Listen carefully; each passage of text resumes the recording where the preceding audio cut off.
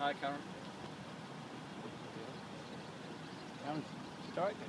Yes, but well, Andy Horn will be first. He's the coach driver. We're talking to him on the coach, and we'll also be talking to John Nixon after that.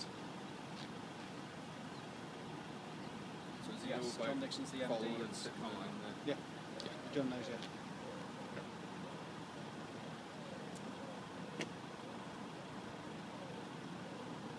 Okay, from Chelsea to Carlisle.